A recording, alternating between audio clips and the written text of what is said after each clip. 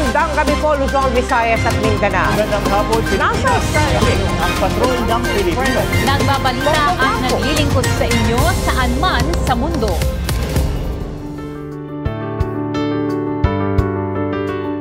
This is the two biggest broadcasting network in the Philippines. The latest research suggests that the news can shape us in surprising ways, from our perception of risks to the content of our dreams, to our chances of having a heart attack. Why it's very important to have our own Filipino media outlet to promote Filipino cultures in Australia. Um, as you know, my career by profession is that I'm a journalist and the editor of Money Magazine right now. This is Michelle Baltazar, publisher of Australian Filipina and editor-in-chief of Money Magazine. There's always breaking stereotypes is the number one thing. Uh, number two is uh, inspiring Filipinos, young Filipinos out there that hey, look at look at us. These are our stories. For example, we did a story on um, Melanie Perkins, who is the billionaire chief executive of Canva. Uh, I don't think a lot of people know that she's got a Filipino background in her. Uh, then we wrote a story yesterday about a nurse who turned into a cybersecurity professional. These are stories that maybe a Sydney Morning Herald wouldn't pick up, or not uh, something that Channel 7 would pick up, but Australian Filipina will definitely write those stories.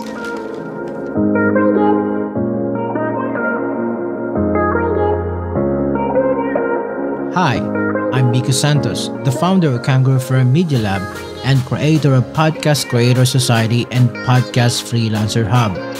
This is a Filipinotastic, a podcast series about Filipino diaspora and their stories to inspire others to make a social impact to our community.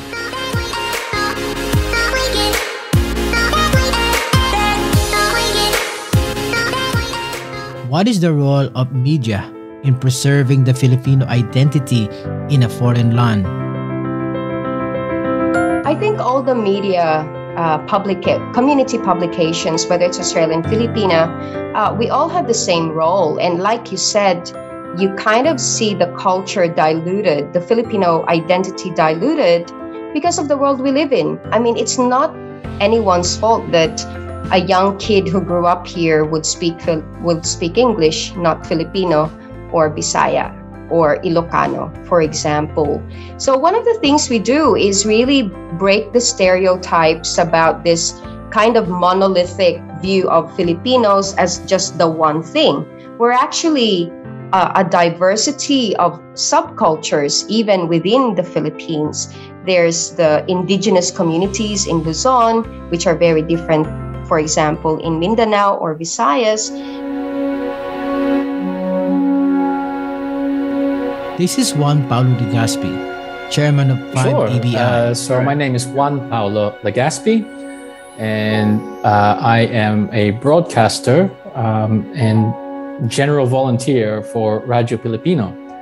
And I'm also the chairperson for the radio station that Radio Filipino Incorporated plays from, which is called 5 EBI. Can you tell us the main objective of the creation of Radio Filipino in Adelaide?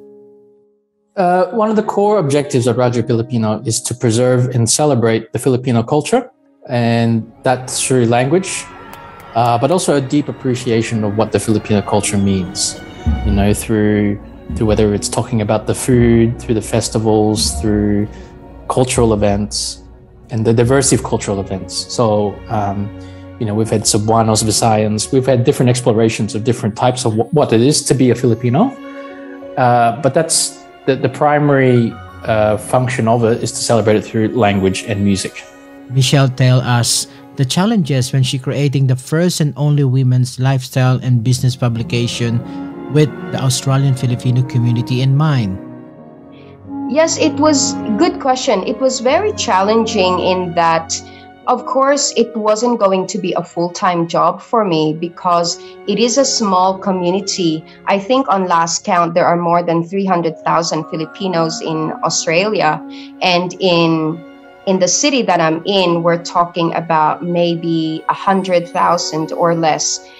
but everyone tried to help. And to be honest, it's really just the inspiration from the community. They really wanted our own publication uh, and tackling our own cultural issues. So it got easier. And now I'm working with two dedicated writers, Chi De Jesus and Bioli Calvert, as part of the Australian Filipina team. Setting up a Radio Filipino is not easy, but it worth it. Say Juan Paulo Legaspi. In the earlier days, before you did, we had uh, music streaming and MP3s. Uh, you'd physically have to buy a suitcase worth of CDs uh, and bring them over from the Philippines, uh, just so you can have a library of. We, we had quite an impressive library of CDs and vinyls uh, when they were used more extensively, because that's that's how you collect the music.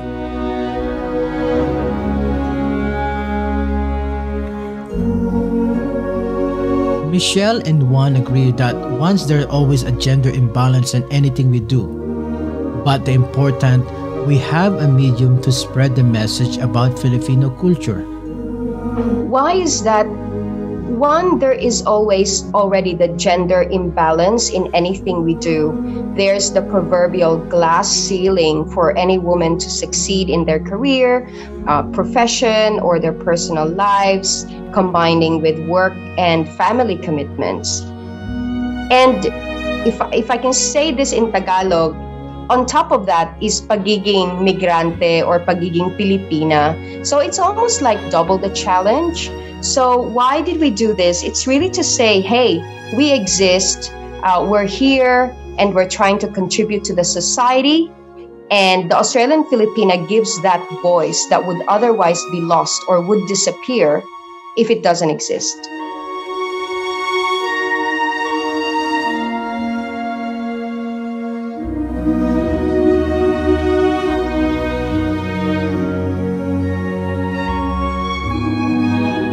When you, especially when you're first or second generation Filipino.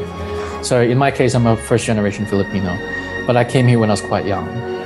Uh, going through and listening to Filipino radio growing up, it helped me kind of address a lot of the cultural and identity questions that you, especially when you're going through high school, you, you start asking yourself, who am I? A lot more. And listening to those types of programs, especially in an environment when that type of content is wasn't widely available. And um, even now, like you, we can go on Netflix, we go on YouTube, we can watch whatever we want from the Philippines. But what radio and localized radio helps is it explores the topic within the confines of your local geography. So it's talking about what it's like to be a Filipino in Adelaide.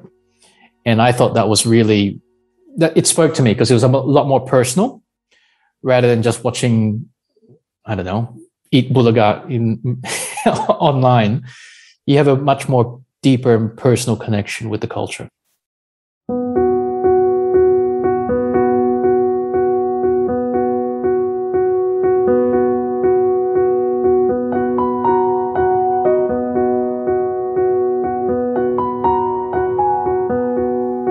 We sit down with some of the members of Radio Filipino in Adelaide to understand more the importance of radio to spread the Filipino culture in Australia. Um, ano ba sasabihin? Whole name, ganun. Just, just introduce yourself first. Okay. Okay. Hi, I'm Idel Lopez, and I'm currently the ano ba, ERPI president. Ethnic Radio Filipino Ethnic Radio. Yep. Ethnic Radio Incorporated um, president, and I'm also one of the Barkada Radio hosts um, every Friday night. So that normally it's uh, first Friday of the month. So that's me.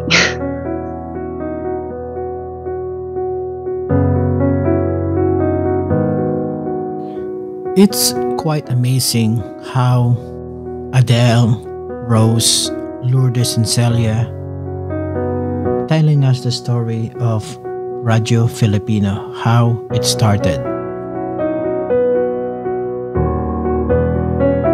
You know, uh, the Radio Filipino really was uh, was founded because of the settlement issues, yung mga bagong Pilipinong dumarating dito, mga bagong migrante, yung 1970s to 80s.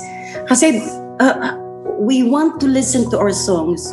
We want to listen to Filipino talking other, you know, our Filipino language. Kaya ang ang ano noong time na yon is to promote our language and our culture as well. Tsaka nagka, doon lang kami nagkakanon. Uy, may birthday ngayon, birthday ni so and so, punta tayo. Parang ganun. So, in a way, we we were able to to bind with each other kasi nandun yung radyo. At saka every time ano, oh, Merry Chris, ah, happy birthday, so and so, Miko, happy birthday. Oy, birthday ngayon ni Lourdes, magpapalit yun. Something like that. So, Bang Lourdes yata yun. Oo, sa'yo yun. I think I think even if I wasn't there in 1978 or the 80s, it's easy to imagine uh, that people would be feeling homesick for the language and feeling right. homesick for the music and anything Filipino back then. And dahil nga wala pang internet non, information and all this music is not that readily accessible back then. So True. it ra- radio was still the most popular and mo- eas- easiest medium That's true. to turn to. Like e- even in uh, when I heard ma- the first program of Radio Filipino, it was by accident, and this was uh, maybe 2006, 2007, or 8 when I first heard it accidentally in the car because I was fiddling with the station, the radio stations while my husband was driving. Bigla akong narinig, ay, may nagsasalita ng Tagalog, na-excite ako. Bigla, excited, excited ako. Dahil, ay, may nagsasalita ng Tagalog sa radyo. And that's when I discovered uh, na meron palang radio program sa ano. So, inalam ko kung anong oras yung ano, yung program, but I was still working in an office back then. I brought a little Walkman and every time it was on, I would listen. Not I knowing that one day, yeah, I not, met not the one day I would I would hear my own voice on the radio. Yes. Na inimbita kita, di ba? Nung mag- magkita tayo sa palengke. What, what do you think, Adele? Um, What- so, sa akin naman, um, tama yung sinabi ni Ate Lourdes. So, more of, para hindi natin makalimutan yung sariling wika natin. On top of that, para sa show ko naman, more of uh, presenting or featuring yung mga bagong artista or new music na hindi pa natin napapakinggan or pwede rin yung mga lumang awitin na gusto nating balik-balikan. So, ma yun yung import yung importansya nung ano radio community, yung Filipino radio community sa akin. Kasi parang nakakakonekta pa rin tayo. Kahit nasa Australia tayo, feeling natin nasa Pilipinas pa rin tayo kahit papaano. As Juan Paulo Legaspi said, I think it'll, it'll be a, a really interesting change, and I've started to notice. So, even in the early days of Radyo Filipino, it was broadcasting news from uh, the Philippines into Adelaide. These days, it's we still talk about what's happening in the Philippines, but because there's a bigger diaspora community, it's becoming more and more about what's happening with the Filipino community in Adelaide. And then believe it or not, because it's now online sometimes, you, we get audiences in the Philippines listening in what's happening in Adelaide. So it's kind of gone in the reverse direction. But I think the most important part is still maintaining that connection um, with with the Philippines, but also Filipinos abroad. I think there's a lot of global and universal connection about what it is to be a Filipino outside the Philippines, and I think that's going to be the shift in the next five to ten years. About it's not just broadcasting in in Adelaide, but it's celebrating what's happening in Adelaide around the world. That makes absolute sense. So I'm part of a not-for-profit group called Adhika, which is a association for media professionals in in the country, and we are made up of uh, online publications, radio programs, um, also TV. So, for example, SBS uh, Annalyn Violata and Edinel Magtibay supports uh, Adhika. And then there's also what we call the PhilPres group. So already Australian Filipina is collaborating with all the local radio stations, but in particular Radio Tagumpay, which is a Sydney-based radio. And we also uh, liaise and share news with other online publications like Bayanihan or uh, before there was also the Filipino Australian.